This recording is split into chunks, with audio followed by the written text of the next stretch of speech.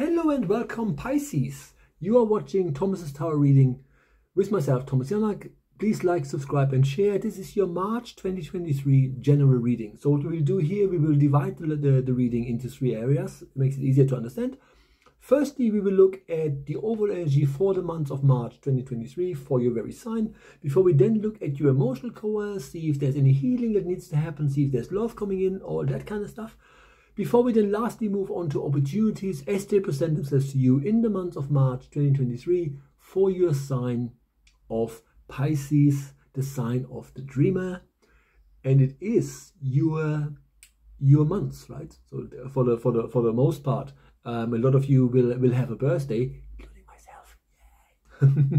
so therefore, your energy is more about um, you you you're coming around another circle around the sun and so you are more aware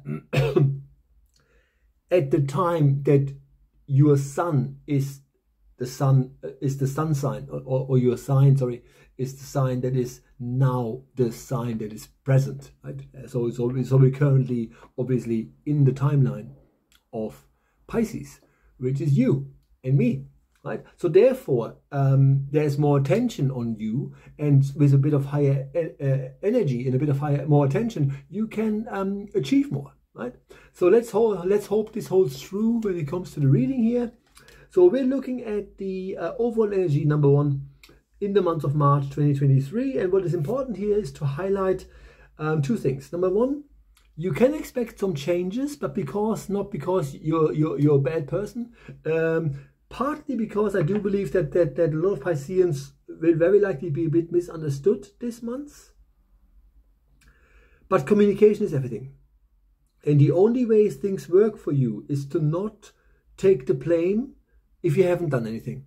Right? Um, but communication is really, communication is really, really important. That is the overall energy for the month of March 2023. If there's anything to, to talk about, it has to be done or ought to be done verbally, uh, calmly, and collected, as they say. And that is the overall energy for our sign, for the sign of Pisces, in the months of um, March 2023. And now we're looking at um, your emotional core, and you have Neptune, which is interesting because Neptune is the governing planet of Pisces, which means when it comes to manifesting love, you are in your strengths. Again, already said that that because it is the month of Pisces, um, you are easier seen. that makes sense, right? So the point is have a vision. Don't hide. Look at what it is you really want, but also allow yourself to not follow so many patterns, which means if you have a certain type, don't necessarily just try to attract that certain type. Who knows what's coming your way when you're more open, right? If that makes sense. So that is what I'm getting for for uh, love. Uh, conversely, if you should you be in a relationship um, and you have the term vision, you know, look at it right? So where is this going? With the vision, you know, um, is it time to take this to another level? Is there things that need to be redirected? All these things are coming up in your emotional core. Uh, really, really important for you and us Pisceans in the month of March 2023 when it comes to opportunities. Now that is difficult. It actually seems to be quite a heavy month, even though it's our month.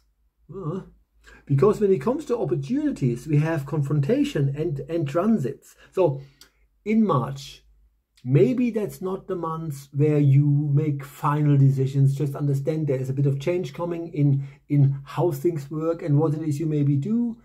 Right? Things will not always stay stay difficult. Things will will get better.